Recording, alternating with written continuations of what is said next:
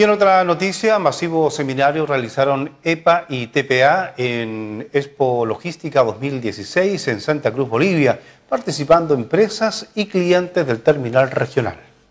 Con la participación de más de 150 empresarios y clientes del terminal regional, la empresa portuaria Arica y Terminal Puerto Arica realizaron un seminario en el marco de la Feria Expo Logística efectuada en Santa Cruz, Bolivia. El seminario, denominado EPA y TPA en continuo crecimiento con el comercio exterior de Bolivia, fue el escenario para que ambas empresas expusieran los principales proyectos que se están ejecutando en el terminal regional para optimizar la cadena logística, mejorar la eficiencia en términos de atención y la competitividad.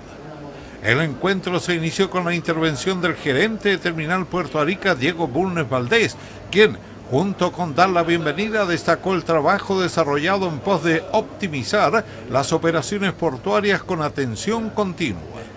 El gerente general de Empresa Portuaria Arica, Iván Silva Focasi, junto con analizar las cifras de crecimiento del puerto en los últimos años, sostuvo que el incremento en la transferencia de carga impone un importante desafío para continuar entregando servicios de excelencia y competitivos a los clientes del terminal regional.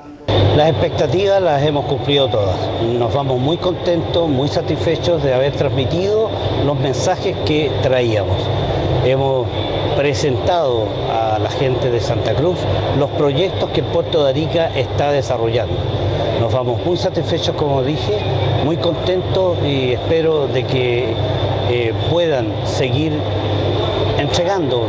inquietudes porque nosotros de esa forma crecemos y nos hacemos cargo de los problemas que hoy en día tienen los importadores y exportadores bolivianos. La actividad culminó con un cóctel que ofrecieron EPA y TPA a los clientes que participaron de la conferencia y autoridades de Santa Cruz de esta manera se cerró la cuarta versión de la Expo Logística hasta el año 2018.